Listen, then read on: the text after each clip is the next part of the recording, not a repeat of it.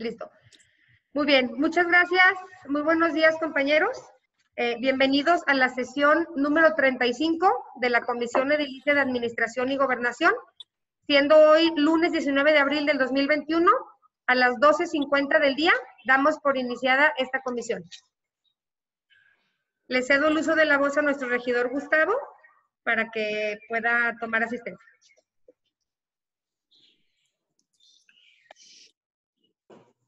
Muchas gracias, presidente.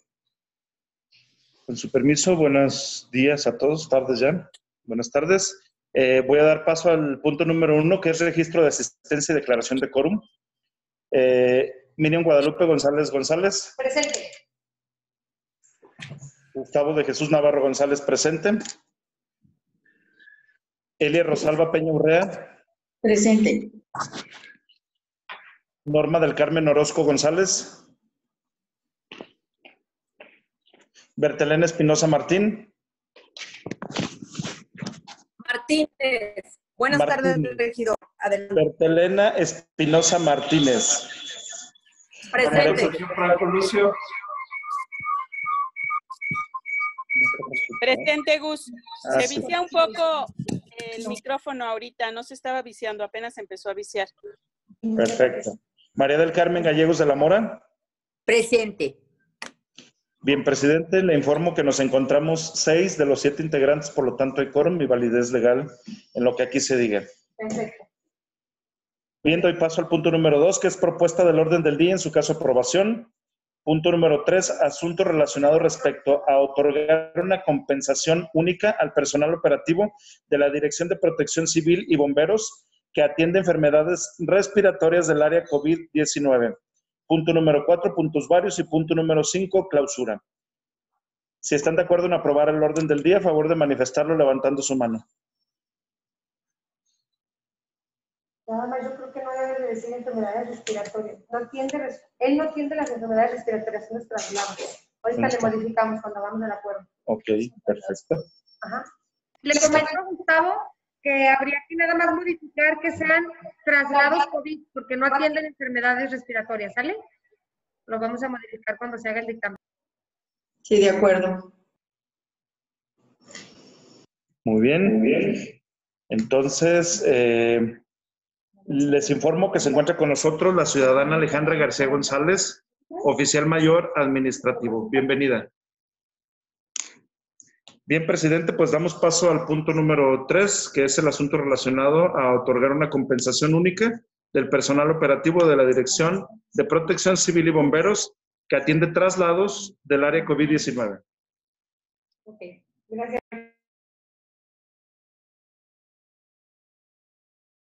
Muy bien, muchas gracias, secretario. Eh, nada más informarles, les comenté poquito antes de, de empezar la, la comisión, eh, la información que hemos recibido, Alejandra la trae, ahorita nos la va a explicar, pero sí quiero o sea, ser muy puntual que vamos a, obviamente, apoyar siempre y cuando se cumpla eh, que fueron personas que han estado en contacto y, y, pues por lo tanto en riesgo.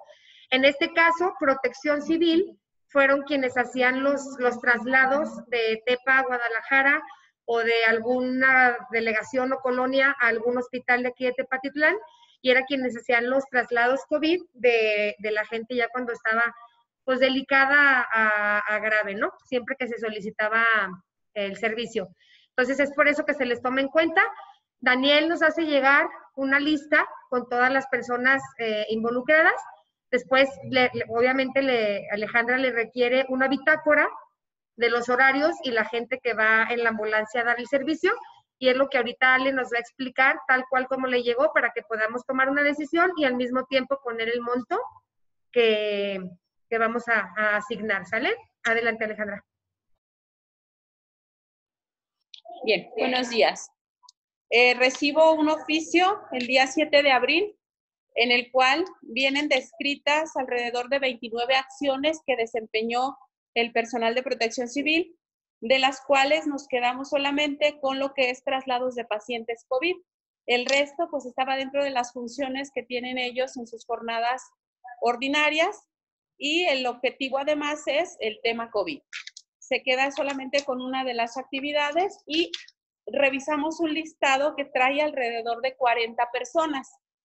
Esas 40 personas eh, se trabaja directamente listado con el director de protección civil y en función de los perfiles se le cuestiona de algunos y me dice, ok, eh, no, no, ellos no participaron en traslados COVID, aunque estuvieron ahí dentro de la dependencia. A final de cuentas se decide que se quitan nueve de esas 40 que no participan en traslados COVID y quedan solo 31 personas del listado de 40 por, ah, presenta evidencias fotográficas de los traslados y además se le solicita por parte de Oficialía Mayor que nos haga llegar una bitácora donde se describa cuándo se hizo el traslado, quiénes participaron en el traslado, para poder nosotros cotejar cuántos traslados son los que se han efectuado.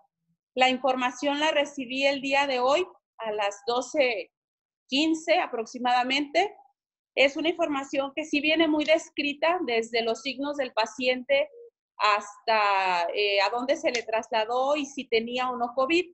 Sin embargo, no viene en Excel para que a mí me permita comparar en este corto lapso de tiempo si realmente los que están en el listado dar la, la, el visto bueno para que pasen todos y poder analizar la cantidad de traslados de persona a persona para que quede claro. Son aproximadamente 193 traslados los que se han hecho desde marzo que inició la pandemia al 14 de abril, que es la fecha de corte que me presentan a mí como evidencia.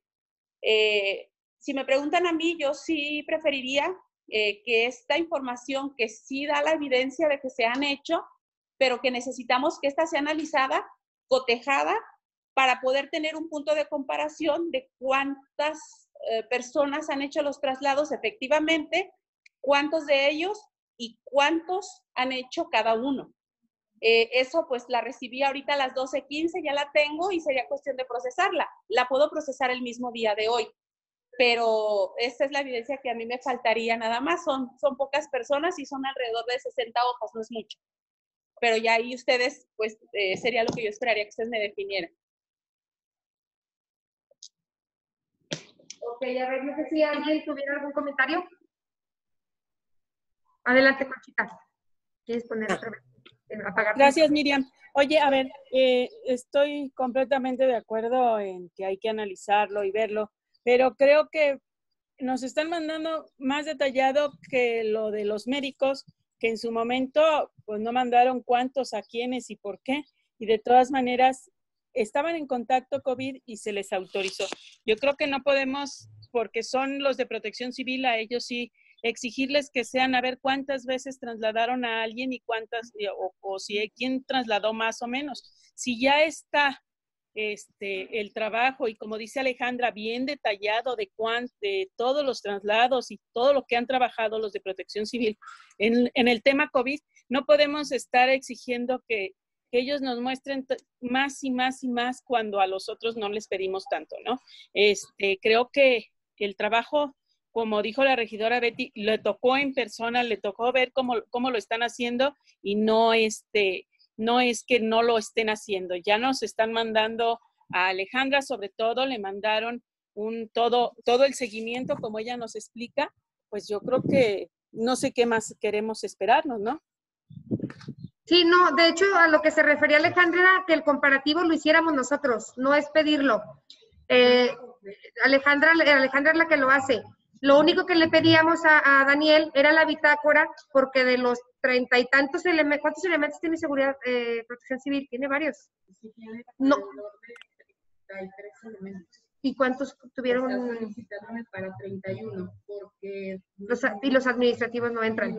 sí, es que nada más queríamos, yo les pedí la bitácora porque necesitábamos confirmar quiénes sí tuvieron este, el contacto, pues porque no se, obviamente no se les iba a dar a todos. Por ejemplo, lo administrativo, a los administrativos no se les iba a dar porque tampoco a, a servicios médicos se les dio. Entonces, si se fijan, él me manda el listado y me subraya los que no, porque son menos los que no. Entonces me subraya los que no es porque son los administrativos.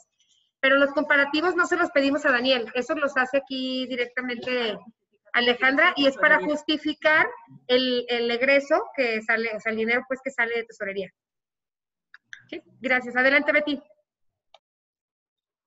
Gracias. Yo estoy de acuerdo en lo que dice Conchita, pero también estoy de acuerdo en lo que dice Ale. Yo creo que está perfecto que se haga el extracto y sobre todo para cotejar que realmente las personas que vienen ahí, como ya lo mencionaban, nos dieron una lista de 40, eliminaron a 9, entonces vamos viendo con las vacunas realmente sí sean las personas. Evidentemente no hay ningún problema con el tema del bono, pero sí a mí sí me gustaría que hagan el trabajo que dice Ale para tener la certeza y como tú dices, Miriam, para justificar el egreso de presidencia.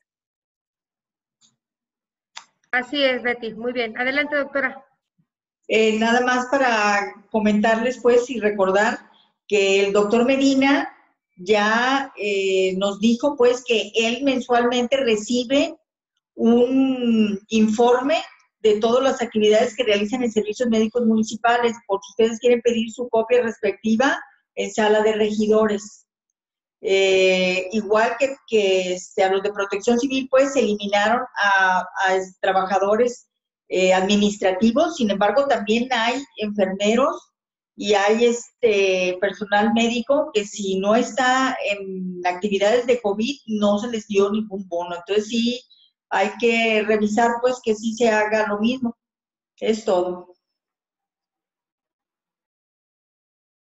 Así es, doctora, eso se está haciendo, no se le está entregando, no se le va a entregar bono a nadie que no haya tenido contacto, que nos, que nos conste en manera de bitácoras o por medio del director, pues porque ahora sí que es, estamos confiando en, los directores sabiendo que han hecho buen trabajo. Entonces, eh, esa, esa es nuestra, como quien dice, nuestra garantía, ¿no? De lo que vamos a autorizar el día de hoy. Entonces, no sé si quieren que toquemos el tema de cuánto, cuánto sería el bono si queremos manejarlo igual que a los, los doctores y enfermeros de servicios, eh, o menos o más, o no sé, ¿qué opinan? ¿Cuál es tu propuesta, Miriam? ¿Cuál es tu propuesta? Ah, ah, yo sinceramente, yo sinceramente lo digo tal cual, yo no tenía pensado en ninguna cantidad, quería que lo decidiéramos en la comisión, porque pues al final del día el riesgo es el mismo de unos y de otros, aunque sea por más o menos tiempo, ¿no? O, más veces, porque no todos los días recibimos COVID en, servicios médicos, ni tampoco todos los días se hicieron traslados, entonces por eso quería dejarlo a consideración de la comisión. Dime, Betty. Bien, nada más aquí hay que tomar en cuenta que van a ser mucho más personas, ¿eh? Digo, la verdad es que si estamos hablando de 31, pues sí, sí son casi dos veces más que lo que dimos en servicios médicos, nada más para considerarlo. Si es que realmente esas 31, sí, sí, sí. Se nos va a ir a 100 mil pesos. Si dejamos los mismos 3.500, pues se nos va a ir casi 100 mil pesos. Adelante, Carmelita. Gracias, Miriam. Eh, mira, eh, yo pienso que aquí, independientemente de que sea más personal en protección civil que en servicios médicos, el riesgo fue el mismo y sigue siendo el mismo. Eh, simplemente todos los que llevaron a, trasladaron a un paciente COVID, ya sea aquí mismo o, a la ciudad de Guadalajara o a otro lugar, no sé, pues imagínate el, tiempo riesgo que tuvieron. Entonces, pues yo creo que, para ser justos debemos eh, compensarlos con la misma cantidad, independientemente del número que son en servicios médicos y del número que son eh, acá eh, protección civil.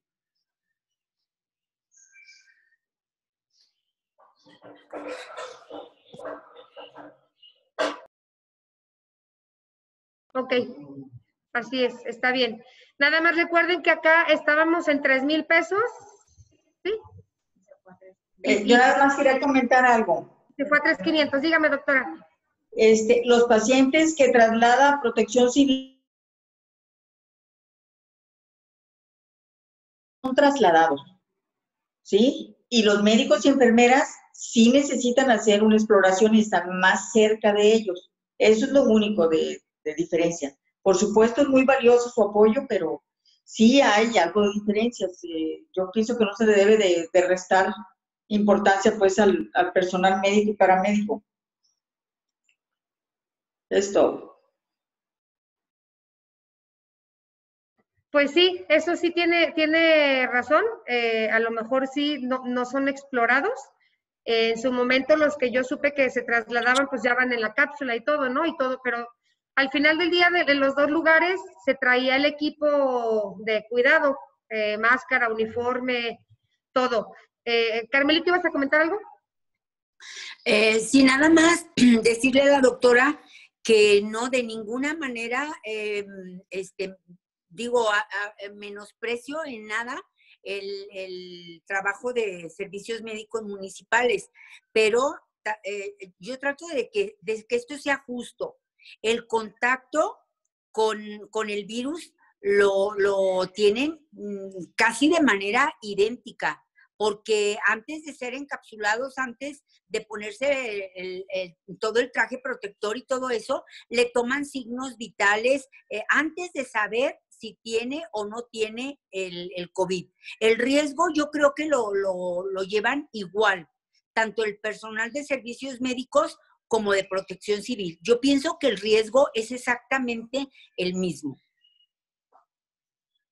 No sé qué piensen los demás si estuviera el director de protección civil, eh, él nos, explicaría con detalles eh, cómo es este procedimiento y podríamos ver que, pues sí hay eh, contacto y hay un riesgo. Y de hecho hay contagiados también en protección civil. ¿Es cuánto? Gracias, Carmelita. Miren, estoy sacando aquí las cuentas de, si fueran 2.500 pesos por, por 31, serían 77.500. Si fueran 3.000 pesos por 31 personas, serían 93.000 pesos. Y si fueran 3.500 por 31 personas, serían 108.500. Me están checando ahorita en tesorería cuánto tenemos presupuestado para compensaciones, porque también nos lo podemos brincar, ¿verdad? Digo, sí, a lo mejor sí nos lo podemos brincar siempre y cuando hagamos una reprogramación, bla, bla, bla, bla, bla. Me está confirmando nada más que sí tengamos, pues por lo menos 110 mil pesos para ajustar cualquiera de las tres cantidades. ¿Sí? Este, entonces yo ahora sí que lo dejo a consideración de todos yo no quiero decir ni quién sí ni quién no, no es decir quién lo merece, más, más, más bien es decir quién este, tiene el riesgo. Lo decía yo el otro día, bueno, pues al final del día a lo mejor todos tenemos el riesgo. Eh, ya si salimos a algún evento social, pues ahí no, ¿verdad? Pero pues todos tenemos que trabajar, entonces todos tenemos el riesgo, porque podemos convivir con gente que no sabemos que lo tiene, aunque ellos saben que van a convivir con gente que saben que lo tiene y tienen todas las medidas de, de seguridad sanitaria. Eh, entonces, pues yo mi propuesta es cualquiera de estas tres. 2.500, 3 o 3.500. Eh, ¿Se siguen haciendo, Ale, los traslados? Al 14 de abril, sí. O sea, el último fue el 14 de abril.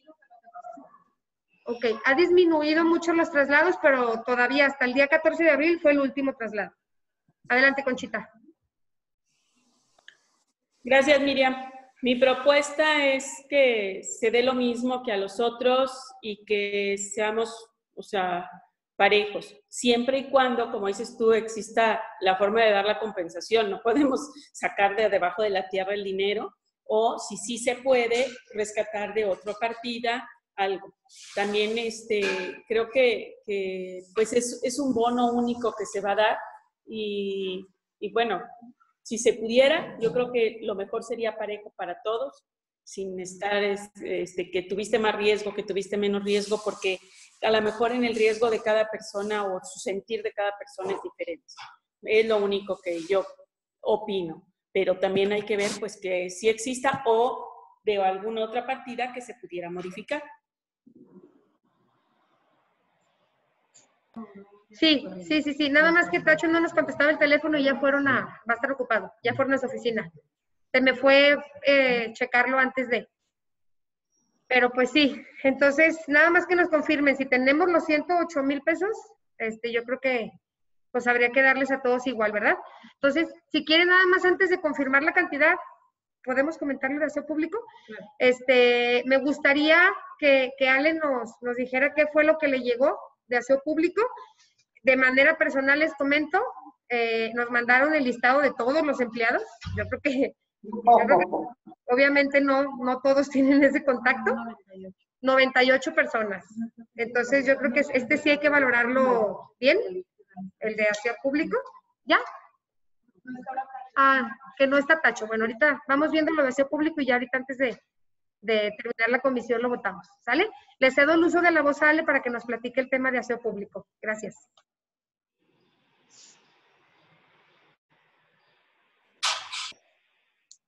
Bien, recibo oficio con fecha del 9 de abril del área de aseo público, donde ellos eh, solicitan que igual que el resto del personal, eh, recolección y limpia, que estamos hablando de, de quienes hacen la barrida aquí en el centro, como de quienes andan en los camiones.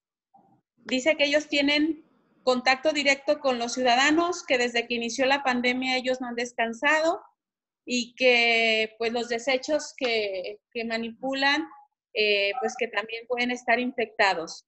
Eh, asimismo, eh, hace un anexo de un listado en el que una vez revisado está un listado de 98 personas. De esas 98 personas están algunos excluidos porque están enfermos o porque no han estado incorporados por alguna incapacidad o incluso algunos que tienen eh, COVID actualmente. Eh, ¿Qué se analizó y se le comentó al jefe de servicios médicos? Que al personal se les sanitiza el vehículo, se les dan cubrebocas, porque lo tengo por medio de oficios, a lo cual se les entregan de, por parte de servicios médicos, eh, gel, guantes, y pues aquí sí pues son 98 personas. El jefe de, del área dijo, eh, yo no pido una gran cantidad, pido un reconocimiento, dijo incluso, eh, comentó él, si 500 pesos reciben ellos van a estar agradecidos, pero aquí es donde, pues ese filtro o esa manera, pues aquí sí no, no tengo una forma de, de decidir cómo cotejarlo, porque el listado que me brindan, pues viene desde choferes, eh, eh, recolectores, eh, campaneros, y, pues aquí sí es lo que hablábamos en la primera sesión. la solicitud está hecha, pero pues se pone a la mesa para que ustedes analicen esa parte donde cuántas más dependencias nos pueden argumentar, pues que tienen contacto, porque si bien es cierto, ahorita es por los desechos que se reciben, pero entonces también las oficinas porque reciben documentación que ha estado en otros lados. Entonces, pues este aseo público eh, lo subo a la mesa porque es una solicitud directa eh, de petición, pero son 98 personas en el listado. Eh, con muchísimo respeto este, hacia las actividades que, ellos con mucho respeto hacia las actividades que ellos realizan. Eh, estamos en las mismas condiciones que comentaba nuestra señora presidenta. Eh, este, tiene que ser más bien que sea contacto directo con pacientes, no con los desechos ni nada, porque no tenemos nosotros, eh, pues así como tú dices, o sea, la seguridad de que de ahí se hayan contaminado. Yo no digo que no se pueda hacer, pero no, no con el 100% de, seguridad. Tiene que ser contacto directo con el paciente, número uno. Eso es lo que debemos de recordar. Si no, como dice este, Miriam y todos los demás, pues los que reciben papeles, los que saludan a la gente, eh, aunque sea de lejecitos, eh, yo pienso que tenemos que tener medidas. Eh, ya se había dicho, ese bono era para personal médico y paramédico de clínicas y hospitales, pero se amplió por necesidades, este, pues, justas también para, para el personal de protección civil que está en contacto con los pacientes. pero ya no con objetos ni con otro tipo de cosas, porque si no, pues todo el mundo va a recibir un bono. Es mi opinión. Sí, así es. Este, yo también creo que no, pues no podemos abrirnos este, tanto porque, les digo, al final del día todos tenemos un tipo de contacto, ¿no? Adelante, Carmelita, y luego Betty. Gracias, Miriam. Eh, mira, efectivamente, eh, si sacáramos una estadística de cuántas personas del área administrativa y, del departamento de, aseo público eh, se han contagiado de COVID, yo creo que hay muchas más en el área administrativa que en el departamento de aseo público. Ahora, otro, otro comentario. Eh, se les provió eh, desde un principio a los, a los que tenían contacto más directo con, con los desechos, con, con bolsas y todo eso, de guantes y a todos, absolutamente a todos, se les dio cubreboca. Se les estuvo dando un cubreboca mm, periódicamente, no sé, cada dos días, no sé, cada, cada tres días. Sin embargo, la mayoría de la gente de aseo público no traía puesto el cubreboca. Yo llegué a, decirles a, las personas del, camión, eh, ¿por qué no traes tu cubreboca? Aquí lo traigo, señor, sí, pero ahí no te sirve, póntelo. Sí, ahorita me lo voy a poner. Muchos, muchos de, esa dependencia no portaban eh, el cubrebocas. Entonces, pues mm, bueno, ese nada más es un comentario que, hay un cierto descuido eh, voluntario ahí de parte de ellos. Pero se me hace pues absurdo que, que estén pidiendo también un bono porque entonces todo el resto del personal del ayuntamiento lo va a pedir, porque como dice la presidente, todos tienen contacto con, con, papeles, con muchísimas personas que vienen de diferentes partes, de diferentes ámbitos, de diferentes dependencias. Entonces, pues esto se vuelve una bola de nieve que no va a tener fin. Entonces yo pienso que, que sí tiene que quedar muy claro que, este, este bono solamente se le va a, dar a, a, las personas que tuvieron contacto directo con pacientes eh, contagiados de COVID. Eh, todo el resto del mundo, en algún momento hemos tenido contacto con, con el COVID, ya nos hayamos contagiado o no pero desde, desde una tienda, al tocar alguna cosa, puede, podemos haber tocado el, virus. Entonces, pues no, no podemos generalizar esto porque no va a haber dinero que alcance en el ayuntamiento para, para dar bonos. Eh, y no es porque yo tenga nada en contra del personal de aseo público, pero pienso que, que si se les da a ellos el mismo derecho, mm, lo van a reclamar el resto de otros departamentos. ¿Es cuánto? Así es, regidora. Gracias. Adelante, Betty. Gracias. Muy de acuerdo con lo que acaba de decir Carmelito, propuesta por la cantidad de personas, yo creo y e insisto, no creo que se sigan teniendo los mismos traslados y también me queda claro que hay cargas de trabajo, como fue el tema del COVID, pero que también no todos los días se, se cae tanto. Me queda listo, claro que es el tema del COVID. Yo creo que 3 mil pesos por la cantidad de personas a mí se me hace excelente, pero esa es mi sugerencia. Gracias. Ok, sí, este, muy bien. A ver, entonces, este ya, ya tu opinión de este, Betty, ya fue por los de de protección civil, ¿no? Sí, es correcto, porque son 30 personas, no descartamos a mande. Porque los de aseo público, ya entiendo yo que todos estamos en el mismo canal de que pues no es el mismo riesgo y que a lo mejor no, pues no deberíamos, ¿cierto? Perdón, tienes toda la razón. Lo de aseo público ni siquiera entra el tema. Digo, me queda claro y reconozco su trabajo y reconozco todo, pero ya habíamos sido claros en quién sí iba a poder entrar al bono y quiénes desafortunadamente no. Entonces, nos quedamos con el servicio médico y el tema de protección civil.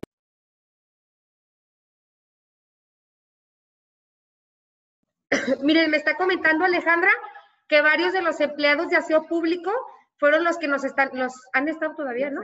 Los que nos están apoyando a sanitizar todas las áreas públicas y se les han pagado horas extras. Entonces creo que, que pues ya ahí quedan ellos este, cubiertos por los que tuvieron o no algún riesgo. ¿Tenemos alguna, alguna persona que le dio COVID eh, de aseo pública, de aseo público, pero que, que, sí se, ha- que sí se ha demostrado que fue por trabajo? No, no, ¿No va? no puedo saber. Ok. ¿Y son muchos los de COVID de aseo? Mm, Podría sacar el número. pero- No, no te preocupes.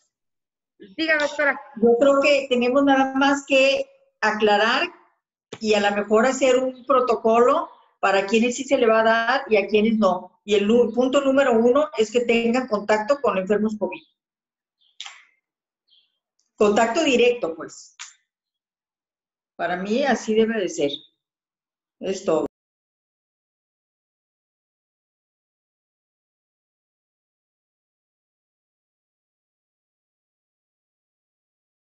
No, a ver, si, ajustamos, este, ya, ya me confirmaron de tesorería, si ajustamos eh, el pagar, pero sí me, me parece buena la, la propuesta de Betty de 3 mil pesos por la cantidad de personas. Yo creo que 500 pesos no, no es ni más ni, no nos hace ni más ricos ni más pobres a quienes los vayan a recibir, no sé qué opinen, y por ser tantas personas lo dejamos en 3 mil.